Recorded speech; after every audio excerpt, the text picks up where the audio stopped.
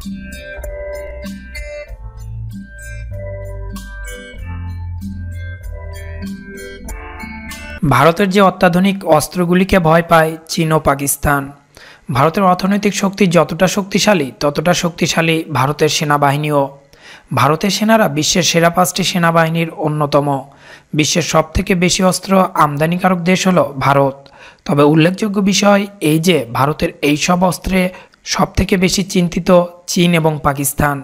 ভারতের কোন কোন অস্ত্র এই দুই দেশের কাছে চিন্তার কারণ হয়ে উঠেছে দেখে নেওয়া যাক।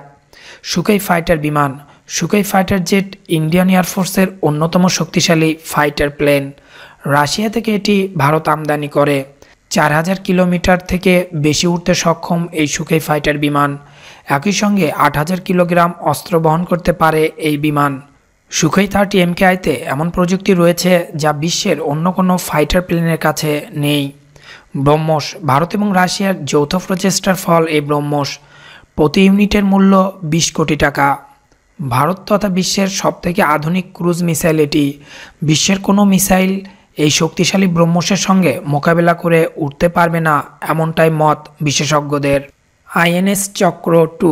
এটি রাশিয়ার নির্মিত পারমাণবিক ক্ষমতা সম্পন্ন একটি সাবমেরিন। দুই হাজার বারো সালে একে ভারতীয় নৌসেনাতে যুক্ত করা হয়।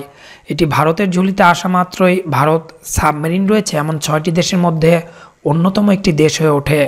মূলত একে একশো বান্ন নেরুপা নামের অকুলা দুই শ্রেণির একটি সাবমেরিনটি রাশিয়া থেকে আমদানি করে ভারত।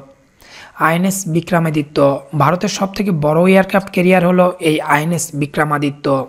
ভারতীয় নৌসেনা এটি যুক্ত হওয়ার পর নৌসেনা আরও শক্তিশালী হয়ে ওঠে। এটি দুইশো তিরাশি দশমিক পাঁচ মিটার দীর্ঘ সমুদ্রে যার অবাধ বিচরণ। পি এইটটি ওয়ান নেপটিউন এই পি এইটটি ওয়ান নেপটিউন খুবই শক্তিশালী এবং যে কোনো এয়ারক্রাফট থেকে অনেক এগিয়ে।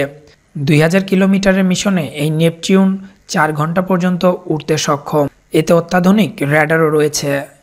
টি নাইনটি এস ভীষ্ম ভারতীয় সেনার অন্যতম শক্তি এই টি নাইনটি এস ভীষ্ম পাঁচ কিলোমিটার পর্যন্ত লক্ষ্যভেদ করতে সক্ষম এই ট্যাঙ্কে কোনো রকম রাসায়নিক বা বায়োলজিক্যাল বা রেডিও অ্যাক্টিভ অ্যাটাকের প্রভাব পড়বে না।